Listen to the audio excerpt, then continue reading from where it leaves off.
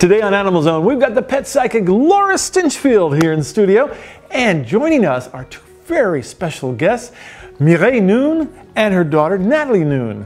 And Mireille, besides being a dear friend and being an incredible chef, by the way, if you ever have a chance to have her choucroute, it's out of this world.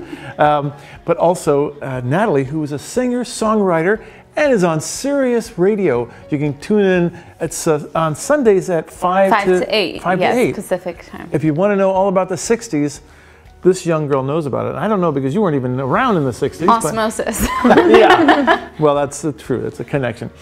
You have a fabulous dog, a pug, I believe, right? it's a French bulldog. Oh, okay. I'm sorry. a little French, a Frenchie. Frenchie, a Frenchie. How did your Her French? sister's a pug, though, so I got it. excellent. They're both sort of like toy Yeah, dogs, aren't they're they? both little And didn't they both kind of? Well, I think the Frenchie originated part English bulldog and part uh, ratter from uh, France. Is that right? originally. I Oh, think it's didn't- from Paris, know. in the, from the 1800s. Interesting. Yeah, they know learn Fascinating. something. Yeah, but the the Frenchie is, is such a great She's family a dog. smaller. She's not like the. Yeah, she was a little baby in her Yeah. litter. And they're wonderful family dogs, aren't they? They're She's friendly the with everybody. She just wants to be around us 100% of the time. Just clingy, at aren't our- they? I bet. Absolutely. In the best way. Yeah. All right. Well, tell me, Lucy, are you ready to be read by Laura? Yeah. Because Laura has the ability to kind of uh, tune into what you're seeing and thinking, and you can tell her anything, and we promise it'll just stay between us four and everybody on camera. What do you think, Lucy? Have you been thinking about what you want to say?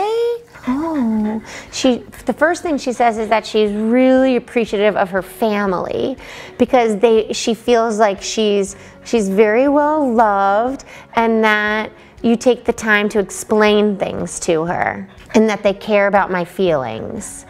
And they, she says that if you ever have to get mad at her, you're like, I still love you, pretty girl. What else? Like, is there something that you want, or something that you need, or something that that yeah? It's You do. Why do you want one of those? She says she wants a stroller so she can see up high and go on more walks. Stroller? How are Is gonna it- get one of those? Is it hurting you to like walk or something? How come you want a stroller? I want to go more places. And sometimes my legs get really tired. Wh- which legs? Your front legs or your back? My back legs from my middle of my back down. I get like sore. Have you noticed that at all? She doesn't want to walk. I take her on the leash. She goes a bit and she stops. oh. Doesn't doesn't like to walk. Yeah, maybe it's time to get some So she wants you to get her a stroller and Yeah, I think it's some Yeah. truth to that because she'd be happy on yeah. a stroller. Yeah, she's uh, a little lazy on the lazy side, and maybe it's an issue with her. She says she's not lazy, that sometimes her back end tingles sometimes.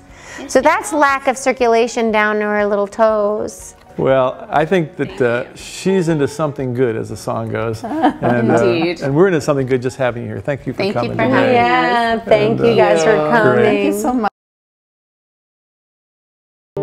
Every time I count my blessings, I count you first.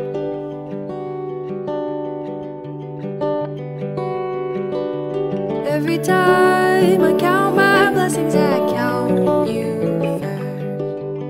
Every time I count